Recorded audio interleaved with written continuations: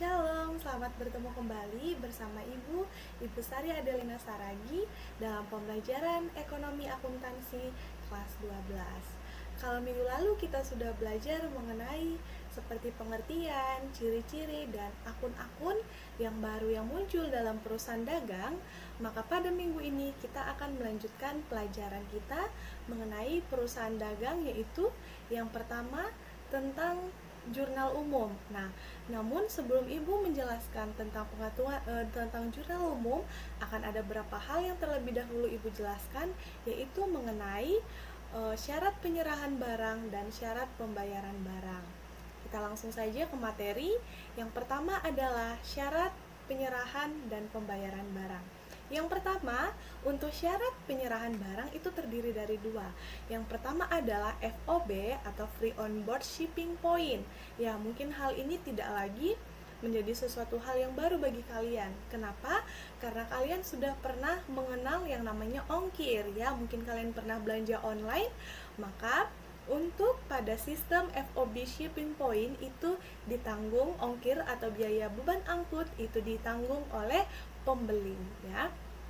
Kemudian yang kedua ada FOB destination point.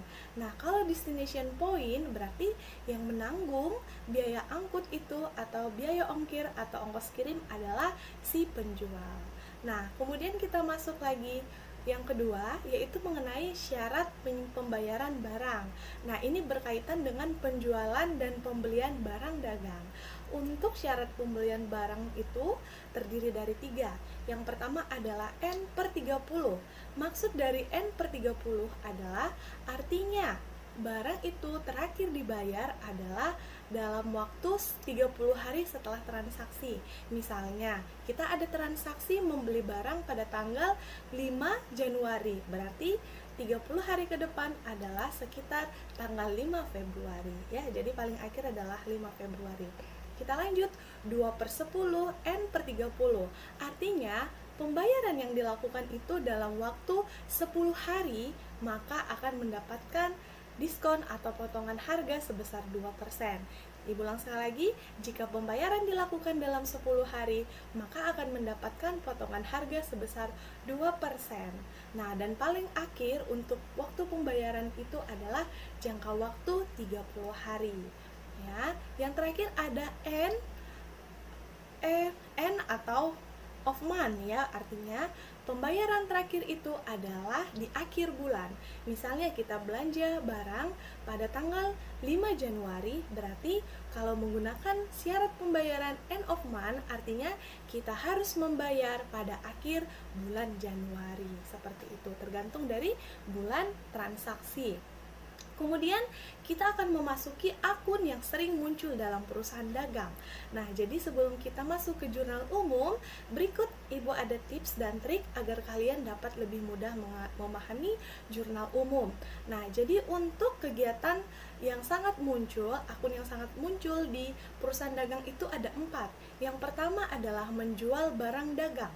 Nah, jadi di sini posisinya adalah barang dagang, ya kalau kita menjual barang dagang ya menjual umum adalah barang dagangan. Ingat jika barang dagang bertambah itu akan ada transaksi di debit.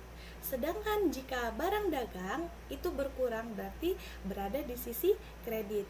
Kita masuk yang pertama, menjual barang dagang. Logikanya, ketika kita menjual barang dagang, artinya barang dagang kita akan berkurang. Nah, ketika kita menjual barang, berarti itu nama kegiatannya adalah penjualan. Nah, kembali lagi tadi, ketika kita menjual barang dagang, barang kita berkurang, berarti akan ada transaksi di sebelah kredit. Nah, yang kedua, ada menerima kembali barang yang dijual. Nah, kita sudah menjual barang, lalu barangnya kembali itu disebut dengan retur ya, retur penjualan. Nah, ketika barang kita diretur berarti barang kita kembali bertambah, berarti mengakibatkan transaksi di sisi debit. Nah, yang ketiga ada membeli barang dagangan. Itu disebut dengan akun atau transaksi pembelian. Nah, ketika kita membeli barang, maka barang dagang kita bertambah, berarti transaksinya ada di sisi debit. Nah, yang terakhir yang keempat adalah mengembalikan barang yang sudah dibeli. Kita membeli barang, lalu kita kembalikan. Berarti barang dagang kita itu berkurang. Nah, untuk kegiatan ini disebut dengan akun retur pembelian. Nah, ketika kita barang yang kita beli atau barang dagang yang kita beli kita kembalikan. Berarti barang dagang kita berkurang. Maka transaksi dicatatkan di sebelah kredit. Nah kalau kalian sudah tahu bahwa barang dagang bertambah di debit barang dagang berkurang di kredit nah kalian e, dalam jurnal umum tinggal mengingat satu hal lagi. Seperti menjual barang dagang jika penjualan sudah di kredit berarti di sisi debit itu nanti akan diisi dengan akun e, kalau dia secara penjualannya secara e, tunai maka itu akan menge, e, di, di sebelah debitnya itu akan ada akun kas. Ya berarti kas bertambah di debit lalu penjualannya bertambah e, e, penjualan berkurang di kredit. Nah seperti itu. Nah kalau itu secara tunai. Bagaimana jika penjualannya secara kredit? Berarti yang bertambah di sisi debit adalah piutang usaha di sisi debit, lalu penjualannya di sisi kredit seperti itu ya. Lalu uh, yang ketiga uh, memberi uh, retur penjualan. Nah, kalau di retur penjualan itu ada di debit, berarti kita tinggal cari lawannya di kredit. Nah, jika kita membeli secara tunai, berarti kas kita berkurang ya. Uh, kemudian jika kita menjualnya secara kredit berarti piutang usaha kita berkurang.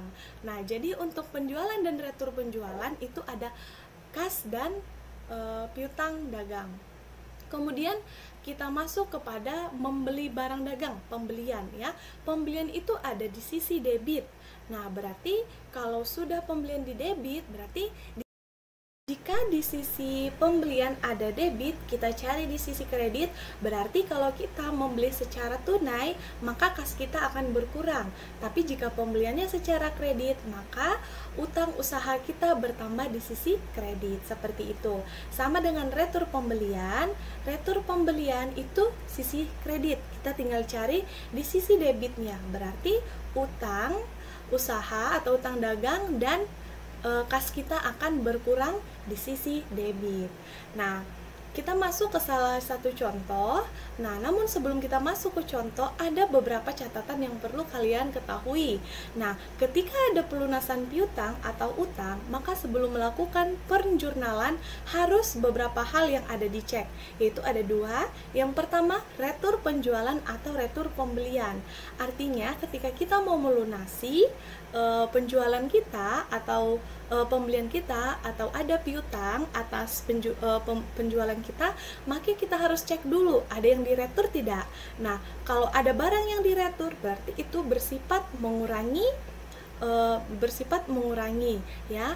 Yang kedua, masih berlakukah potongan penjualan atau pembelian yang diberikan?